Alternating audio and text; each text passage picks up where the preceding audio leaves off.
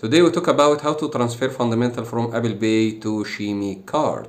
1. Open the Apple Wallet app on your iPhone. Next, select your Apple Cash card. It should be the one at the top with the Apple icon and tap on it. 3. Tap on the More icon. 3 dot located at the top right corner.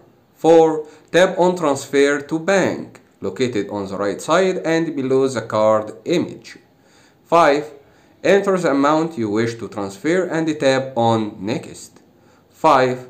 Choose Instant Transfer and when promoted select your Chime debit card. You can also add your Chime bank account to Apple Pay using the same steps. However, instead of selecting a debit or a credit card, choose bank account and enter your Chime routing number and account number.